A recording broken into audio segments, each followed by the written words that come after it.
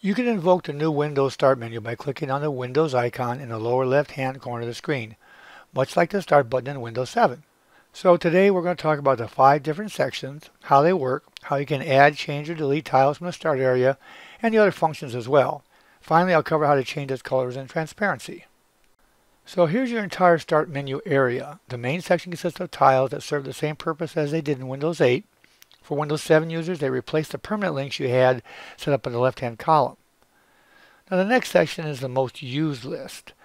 As you use programs, they will appear here sorted by the most used in descending order. And depending upon how many slots you have, they'll appear there. Uh, the next section is the recently installed. As you install programs, they'll appear here. And that way you can find a program you just installed quickly and add it to your tiles area. Uh, the next section is what I call the system area consisting of the power button and app section. Now I'll talk about how to configure that later. And then finally down to the last we have the all apps, which is uh, replaces the entire app screen on your old Windows 8. And again, I'll cover that later as well.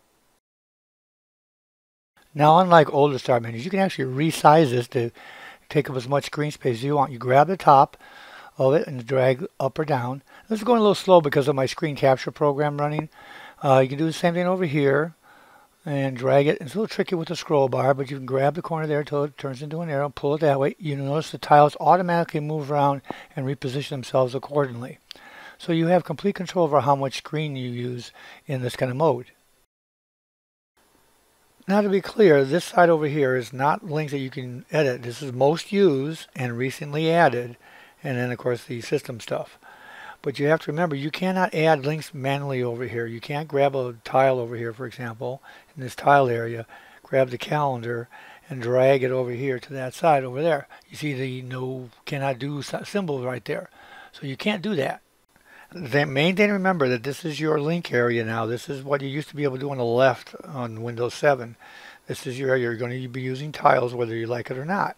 Now you can go the other way. You can go over here and look on your most used, for example, list over here. You can grab something to move it over to your links to make a permanent tile on your desktop. Uh, so let's do this. Let's go ahead and grab it with your either your mouse or your fingertip. And you grab it and hold and drag it over to the start menu. And then you simply put it in the area you want. So uh, this is uh, the calculator I want to put in my utilities. But before I do that, I'm going to move it back just to show you something. If I let go, you'll see it's still on my list. But once you drag it and release it, it removes it from your recently used. And the next one that is not showing up will appear in this list at the bottom. So it keeps a running list of your most used to the least used, but only a certain number. But that's how you add from that, this area over here.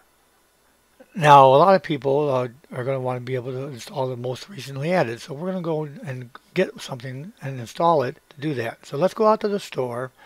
And I'm going to go ahead and use Flipboard, for example, which is uh, what they have one here. So I'm going to go ahead and choose that. And I'm going to go ahead and install it.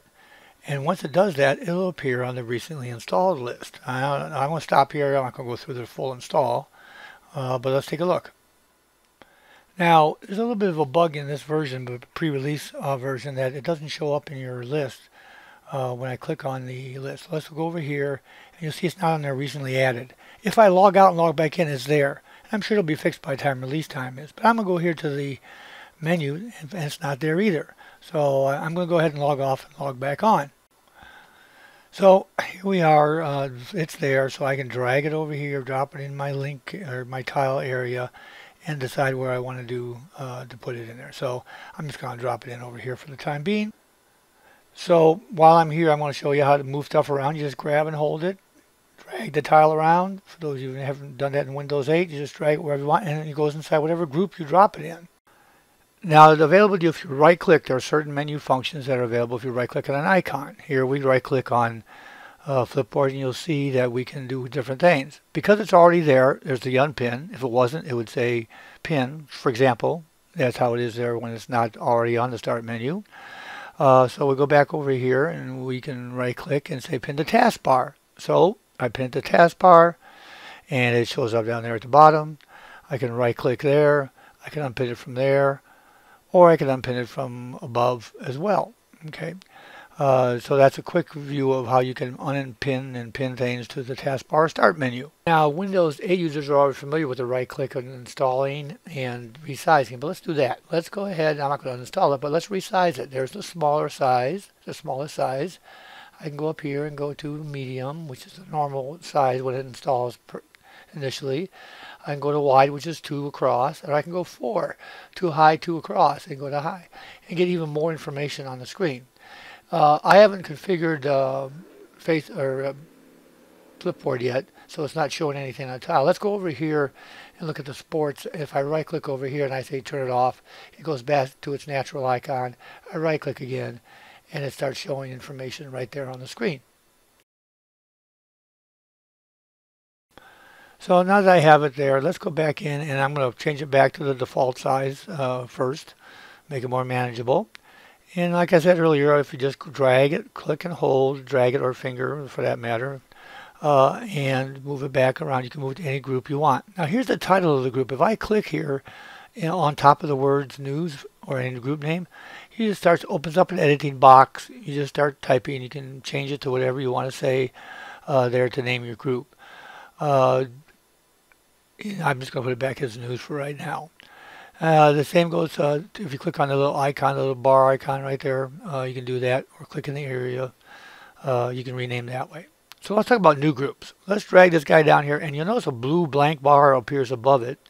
And so all you have to do is drop it when that shows up. Then you can create that group. I'm going to call this group uh, readers because it's news readers. I'm going to put in here. And that's how you rename your groups.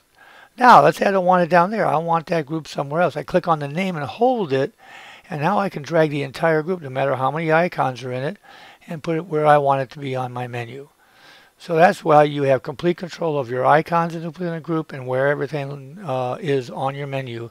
So you can customize your start menu to your preferences and be most efficient for you to use. Now, one of the great features of Windows 7 was your jump list, and you could click on it, right click on an icon and see the most recently edited ones, uh, edited items that you were working on. Uh, for example, we're going to show you Notepad here. If I right click on Notepad here, you'll see that all I get is the uh, tasks associated with it arranged on the start menu. If I have it down here, on the taskbar, you'll see that a list of the most recent documents that I've used. So it does have that feature, but just not up here in the Start menu area. Now it does have it under Recently Added. If I go over here to uh, File Explorer, for example, down below you'll see the most recently added uh, edited things there or locations I've gone to. So jump lists are there just in a limited fashion right now. Maybe in the final version they'll be there completely. Now in Windows 8 there was a whole page dedicated to your old all your apps that were installed. Well in Windows 10 there's a new addition to the menu that allows you to select take a look at the ones uh, you have. And that's where you go down to the bottom and it says all apps and it's highlighted with new because there's new programs you haven't seen yet. So if you click on it, it uses the same interface with Windows Phone. You'll see it's an alphabetical listing. You scroll down and you can see all of them there. You can also click on the letter to jump and only the ones that have programs starting with that uh, letter will be highlighted to jump to so you just scroll so you click here select the area you want you click on it and say boom and there you jump right to the programs that are available to you now there's a little hidden feature of this is that if you click on this and you go to a program that, or a section that has more programs installed underneath it for example here's Fraps if I hit that little down arrow uh, next to it, you'll see that it has the actual program that's underneath that title. But let's go to one that's a little more involved. Let's go here to uh, NVIDIA. Let's click there, and there you'll see the programs that were installed underneath NVIDIA Corporation. Uh, let me go find another one down here. Uh, there's my software I used to create the videos. There's all the software associated with that, so you can directly access that piece of software uh, for either pinning it to your start menu, to run it from there, whatever you want to do. One of those simple yet effective updates uh, between Windows 10 and Windows 8 is the location of the power options. On Windows 8 you had to go to the other screen and even though they added it up there on the top right, it's right here on the bottom left next to your start button. There are your options to uh, go ahead and uh, up, restart or update your system or, or whatever you need to do. Very handy. Now that we've gone over all the features of uh, Start Menu, I want to show you how to configure it, uh, the backgrounds and all those kind of things. So let's go over to settings and click on that. You'll see the new control panel come up. And if you look over here, there's different ways to do things, network security. But what we're interested in is going to be the personalization area. And you notice down here, there's a start icon list right there to click on. Now the first item, the occasionally show app and content suggestion, I personally haven't seen any of that yet. Uh, but let's go down to the store and display recently open programs. If you look over here, that's this list right here, the recently open stuff. So you can turn that on so it appears or doesn't appear. If we click on it over here, they go away. Now below that was the recently uh, added ones that you installed. And if I turn it off, it no longer, that section is missing from uh, there. And we turn it back on again. And we click down here, you'll see the recently added section. Now the next section is pretty complex. If we click on this customize here, you can turn on and off things like I can show the file explorer, the settings, all in this area down here. You notice I have those two turned on down here. So if I turn them off here like that and like that and go back and you'll see all we have left is the power and the all apps area over here. So uh, let's go and turn those back on and we'll go down and take a look again and they're back. They've returned back there. Now, if I go back in here and turn on some of these other items, uh, download documents, videos, and all that, and I come back down here, there's that long list of things there. With They all just have smiley faces right now, but that they're all listed there. So if I uh, go back over here and I turn all that stuff off, and you can have a couple other things here. There's the home group network and all that. You can turn those on and off. So if I turn on network, for example, and now that's listed there. Uh, network is under that list, so you can jump to your network. Uh, personal folder, on, off. Now we have the file explorer there, jumps right to my personal folders. So if we go uh, now back, hit the back button, and we go to the main configuration screen, you see some start behaviors. One is the full screen start menu on the desktop, and the other one is to show the recently displayed on the start menu and the taskbar. Uh, not really much difference there. But this is the partial screen start start menu. So what we're going to take a look at now, though, is how to change that to the Windows 8 version, which is a full screen. If we click on it now, you'll notice that it's now the start menu uh, is going to encompass the entire screen. So if you like the idea of a full screen start menu, uh, that's the way you do it. Now you can bring back your, your list by just clicking on the menu icon up here and you'll see that it toggles this out. And then of course you can toggle it away later on. But it allows you to have both a full screen menu and your list at the same time. So if you're on a laptop, you may want to use this particular uh, feature to stay on the full screen uh, this way or you can have it to where you have a partial by going back and changing this back to a partial and you're back to the standard the new start menu that only occupies uh, a portion of your screen as it does here So now you got it working the way you want. You may want the appearance of difference because you're not a black background kind of guy. So you go over to settings and we go back here to personalization. Okay, but we click up here on colors and you'll see that you can select different colors uh, for your start menu. Now I've always been sort of a teal blue or steel blue kind of guy, so I'm going to take the darker blue there. And you, you notice it doesn't show up yet. You have to scroll down here and click on the box that says Show Color on Start Taskbar and Action Center. Now when I click on it, you see the taskbar changed. But believe it or not, it didn't change here. Uh, what I had to do was close this completely, then come back down here and now the color change as you can see has been applied to your start menu. Uh, so that's the way that is configured. So if then there's a couple more settings. There's uh, if you go back here to personalization and we go here to colors again, you'll notice at the bottom there's the settings to say make it transparent. So if I click on this and I say on, okay, and I turned off colors, um, so it's going to show up in black transparency.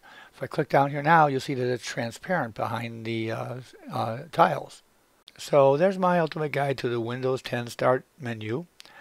Hope it helps the Windows 7 users transition easily over to Windows 10. It should even help Windows 8 users adapt to the new ways of working with your Start menu. So when you get that new upgrade or that new system, you should be able to play around with it, configure it, change the colors just the way you like so that you're much more effective using your new Windows 10 Start menu. Hey, and don't forget to subscribe to Old Guy Geek. Come on back for Windows 8 and Windows 10, and Windows Phone 8 and Windows 10, and general how-to videos, all here to help you make the most out of your system.